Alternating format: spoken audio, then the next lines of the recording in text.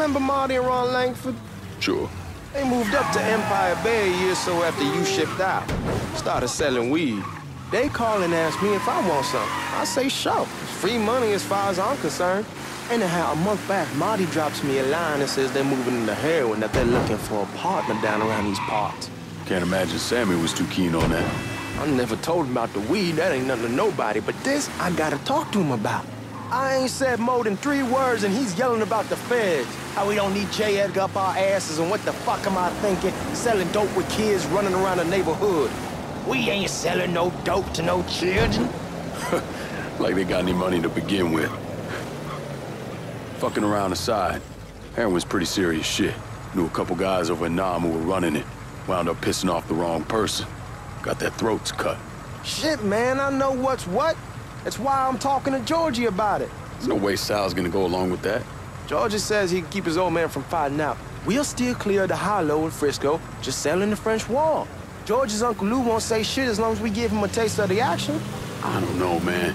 George is a cool cat and all, but heroin ain't the kiddie pool. Come in on it with us. I bet he'd agree to a three-way split. I don't know. I kind of need to lay low a bit, figure some things out. Yeah, all right.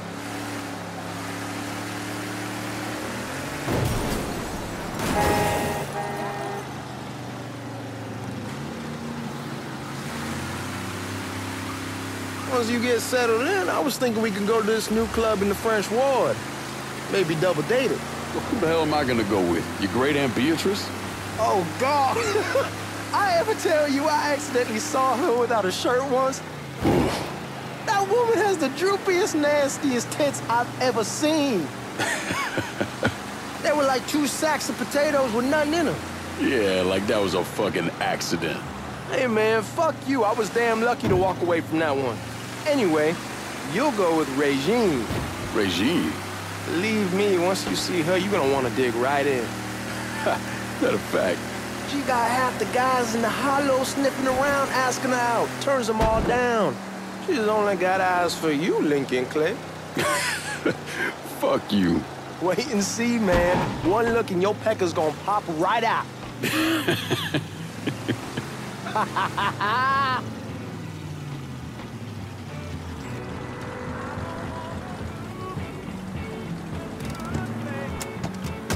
on, we're going through the front. I ain't having your wall here. I ask you the back door. Hey. How you doing? Look who I found panhandling out in front of the train station. Pleasure, man. Welcome back, baby. Boy, I send you to bring Lincoln Clay home. Not the big nigger who ate him. Well, shit, old man. I finally went somewhere they knew how to cook. Welcome home, son. How are you? I'll be better once I get some of that shine in me. I always did love corn whiskey. I would like to make a toast. My father used to say that the real worth of a man came from the mark he left on the world. When Lincoln first told me he was joining the military, I was against it. Too dangerous, I say. Let those people fight their own war, I say. But then I realized Lincoln needed to go out and make his mark.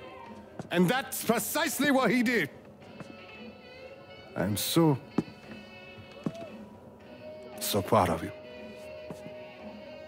Paul Lincoln! Bienvenue à la maison! Paul Lincoln! Bienvenue à la maison! Good to see you. You look so good. nice seeing you, Lincoln. Oh, I kept you in my prayers. I really appreciate that, Father. Now who wants to get shit-faced? Woo! It's hard to explain what it's like coming home from war. Elation, fear, guilt.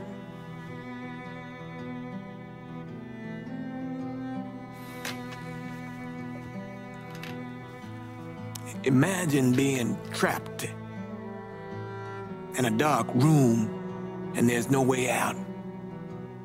And every fear, every nightmare you ever had is in that room with you. And there's no escape from any of it. And then one day, a door opens and you're free to go. Just like that. The thing is, you made your peace with your terror and your fear of death. And now part of you is afraid to leave it behind. But what choice do you have? Every soldier has to walk through that door, one way or another.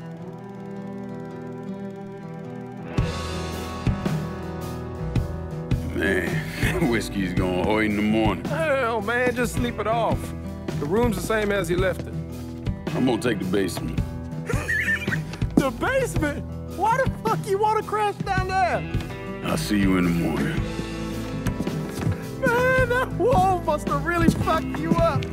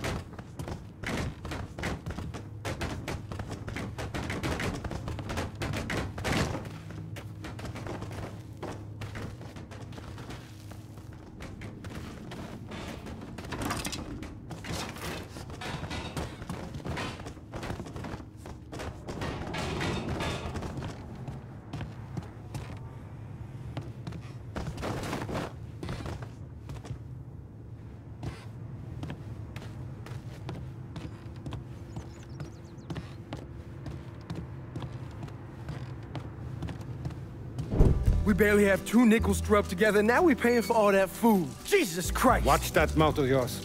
We wouldn't be in this mess if you would have listened to me. What mess? It's not something you need to worry about, Lincoln. I got it under control. Under control. God damn it, you need to Boy, I'm not eyes. warning you again. Have it your way, old man. Let him be. He needs to cool off.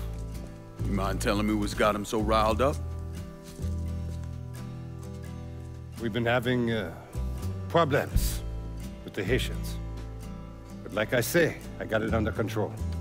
Well, truck's all loaded up. I figure we got enough out there for... Should I, should I come back? In honor of your returning to us safe and sound, I made a donation to Father James here. Supplied him with food he can hand out to some of our needier family. Well, I was hoping you'd lend me a hand, Lincoln, and give you a chance to see the neighborhood. This thing with the Haitians, how serious is it? Ah, you know Ellis. Someone looks at him the wrong way, he's on them like a wet dog. Like I said, I can uh, come back. Nonsense. Lincoln needs to get out. Enjoy the day. Besides, be good for the two of you to spend some time together. Mm. Go on. Those people waiting on their food. Oh, I saw Lincoln a couple times once he was first back. he told me he wanted to leave town, head out to California. Now, he had a friend in the service who could get him a job working at the Mare Island shipyard. And the only reason he came back was to tell Sammy and Ellis goodbye.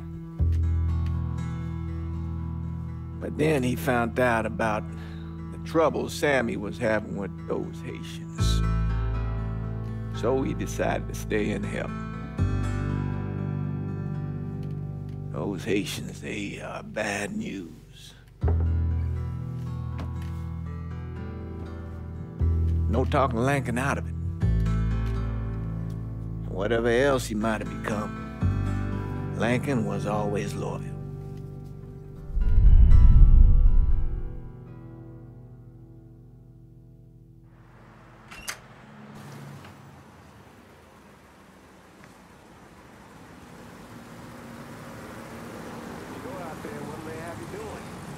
Welding, most likely.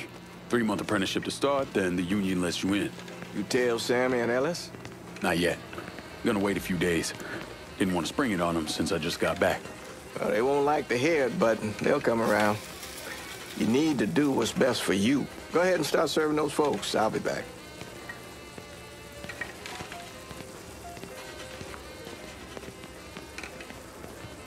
Give Sammy my best, Lincoln. Yes, sir.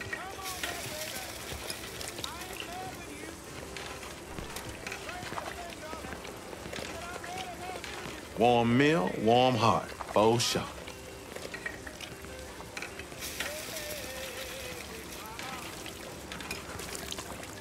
Thanks. Hello? You delivering a real blessing here, Lincoln. Thank you. Blessing's mine, ma'am. Couple days back and they already got you working? Ah, I'm happy to do it. Means a hell of a lot to all of us.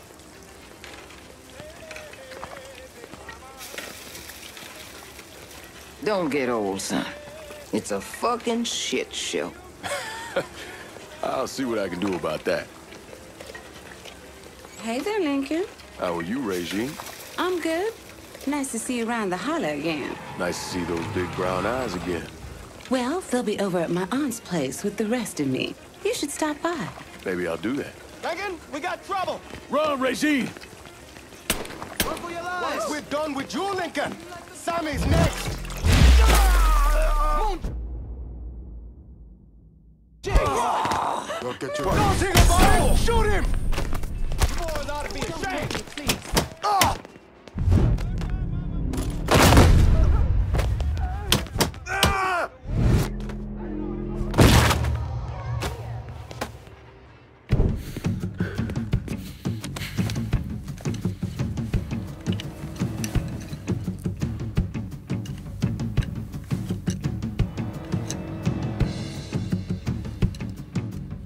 Francois Papa Doc Duvalier was elected president of Haiti in 1957.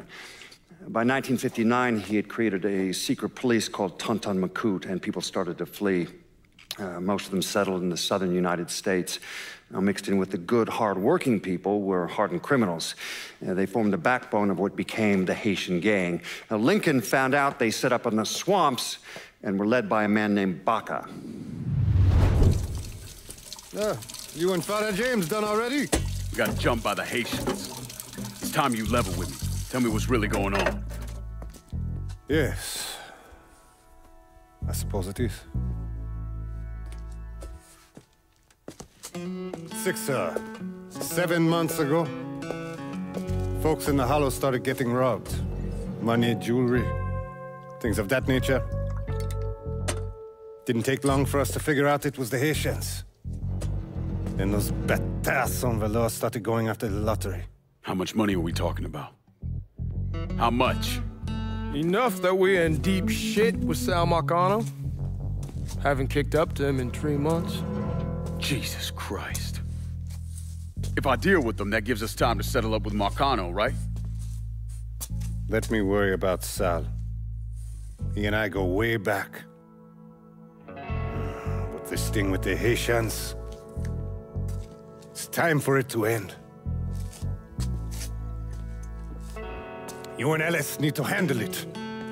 How we gonna find them? Back in the 20s, folks used to pull salt out of the bayou. They even built themselves a little shanty town. When the Depression hit, they abandoned it. That's the only place this could have come from. We're gonna need guns and ammo. Call this number.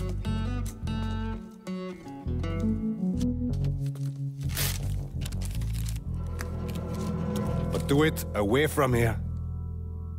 No sense tipping anybody off. Or we could sweep the hollow, track down and kill every last one of those cocksuckers, then we wouldn't have to worry about it. The last thing folks in this neighborhood need to see is colored people killing each other. Do this quiet. Away from here. Once we eliminate whoever's running the show, the rest of them will go down on their own. Trust me. All right, soldier boy. I'll follow your lead. Be careful here. Those Haitians are a hard people. Do not ever underestimate them.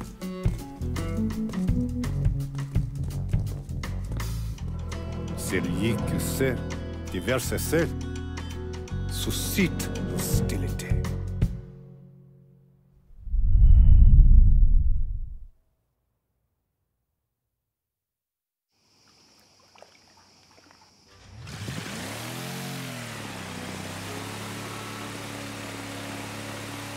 Sure this is how you want to play this? Last thing they're gonna expect is an attack from the water. You head back round to the row. Stay with the car. I'll meet you over there when this is done. Hope you know what you're doing. Trust me, Ellis. Here in a bit, this will all be behind us.